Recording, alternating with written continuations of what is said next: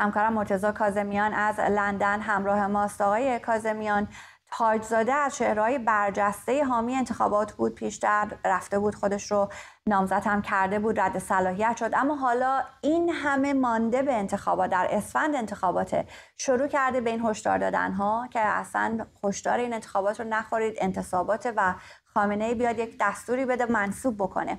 برامون بیشتر توضیح بدید راجع به اهمیت صحبت های او.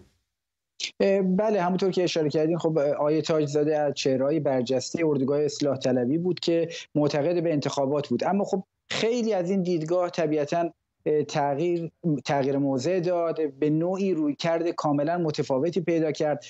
بعدا تاجزاده در تقریبا ماهای گذشته البته تاکید کنیم که از تیر ماه سال پیش آقای تاجزاده زندانی شده. دوباره البته بعد از انتخابات 88 هم خب سالها زندانی بود.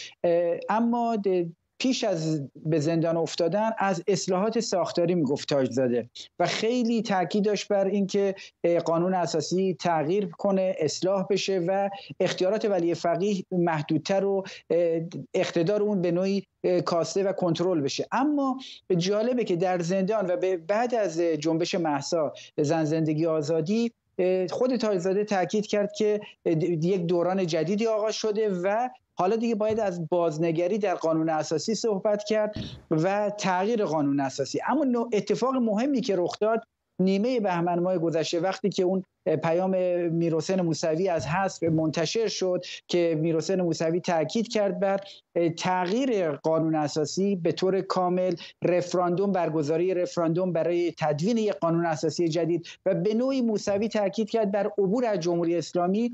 فردای اون آقای تاجزاده و چند زندانی سیاسی دیگر از جمله سعید مدنی و فایزه هاشمی رفسنجانی در متنی که منتشر کردن به صراحت حمایت کردن از میروسن موسوی و رفراندوم قانون اساسی و به نوعی آقای تاجزاده و البته آقای مدنی خانم فایز هاشمی اینها ایستادن کنار موسوی. از عبور از جمهوری اسلامی صحبت کردن.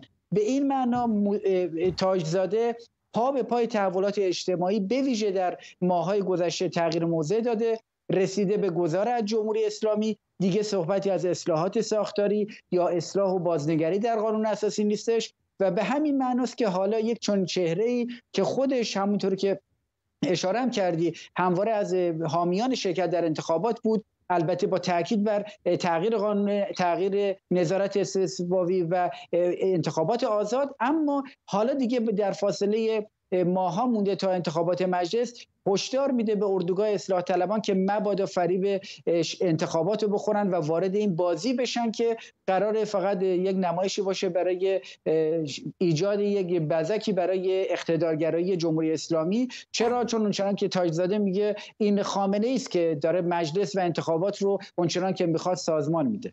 بله خیلی متشکرم از شما مرتضی کاظمیان همکارم از لندن.